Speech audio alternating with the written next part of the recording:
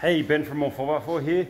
Just want to give a bit of a rundown on why you go for one of these Safari Armaxes, all right? So, basically, you've got a few things, right? You've got this massive, massive intake. Obviously, it varies in size a bit here, right? Starting from under here. Let's see if I can get some good, good views. See that, that intake there? 100 mil intake all the way through. There's braces. You cut the cut the the guard out here, and there's a brace on the inside. Come around here. So there's a nice brace. try to get in there. A lot. So we don't have any guard cracking issues. I don't know if you can quite see that down in there. There's a brace down in there. Okay. So, uh, so that guard is going to be really well supported right? So that runs right through there.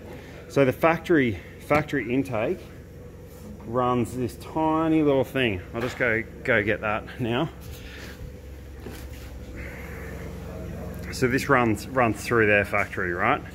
That's not the ultimately limiting thing, even though it's smaller than what this is.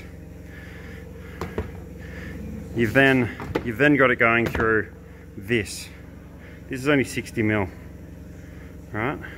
So another part of the mod is cutting cutting the intake out. So that's now 90 mil down there. So in the in the airbox. So that is now a 90 mil truly going into the airbox, right? So when you're checking these snorkels out, whether you're going stainless or anything, you've got this massive snorkel going through 100 mil all the way through. Essentially the smallest smallest part is 90 through to the airbox and then obviously that's similar to same as everything else there. So got to be careful. All these other snorkels they might look fancy on the outside but ultimately it's not going to change anything. So I hope this helped. Hope this adds value to someone that is trying to pick a snorkel